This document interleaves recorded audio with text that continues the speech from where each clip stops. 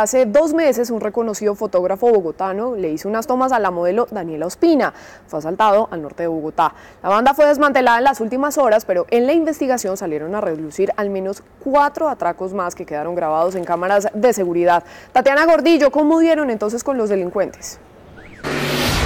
Juanita y televidentes, ¿qué tal? Muy buenos días. Pues las autoridades hicieron todo un seguimiento, un seguimiento a los delincuentes que ya se estaban organizando para hurtar a sus víctimas. Como ustedes lo van a ver en esos videos de las cámaras de seguridad, pues se observa todo ese modus operandi. Esta banda delincuencial se dedicaba a robar objetos de alta gama, tecnológicos como computadores, cámaras de fotografía profesionales, celulares, tablets y todo lo hacían, lo hacían a través de engaños, a través del cosquilleo o incluso ganando ganándose la confianza de sus víctimas, como le pasó justamente al fotógrafo de la reconocida modelo Daniela Ospina, que nos acompaña a esta hora. Buenos días, Fernando. ¿Cómo fue que a usted lo robaron en esa ocasión? Buenos días. Eh, bueno, lo que hicieron ellos con nosotros fue un modo de distracción en el que hacían con un taxi que chocaban la camioneta en la que nosotros guardamos los equipos afuera del centro comercial del Retiro y eh, aprovecharon para sacar los equipos del carro. Son más o menos entre 9 y 11 ladrones. Lo que vemos aquí es que han cogido como la mitad de la banda, pues esperemos poder recuperar algo.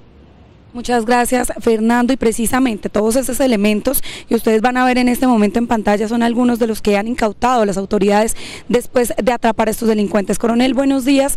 Cuéntenos cómo operaba esa banda, a cuánto asciende todo lo que se habían robado y cuántos hurtos encontraron ustedes, pues están detrás de ellos. En desarrollo del plan choque de los 100 días, el que la hace la paga, seguridad con legalidad, la Policía Metropolitana de Bogotá, a través de su grupo de investigación criminal, en un trabajo de seguimiento, de recolección de pruebas, logra capturar a tres sujetos, integrantes de una banda denominada Los Lisos. Estos sujetos están sindicados de más de 20 hurtos eh, dedicados a, estos eventos especiales que se llevan en la ciudad. Estos hurtos eh, trascienden a más de 400 millones de pesos en equipos tecnológicos. Coronel, si existe esta modalidad de hurtos de equipos de alta gama, existe una comercialización ilegal. ¿A dónde iban a parar? Por supuesto, dentro del trabajo metodológico y el seguimiento pudimos establecer y encontrar unos sitios de acopio en el centro de la ciudad clandestinos. Estos sitios fueron allanados y allí se recuperaron más de 10 equipos de cómputo, igualmente cámaras profesionales y cámaras fotográficas. Estos sitios igualmente deberán ser presentados para extinción de dominio. Aquí queremos llamar a la ciudadanía en general a que no comercialice, no compre estos elementos que tienen una dudosa procedencia porque van a ser investigados y posiblemente judicializados por receptación.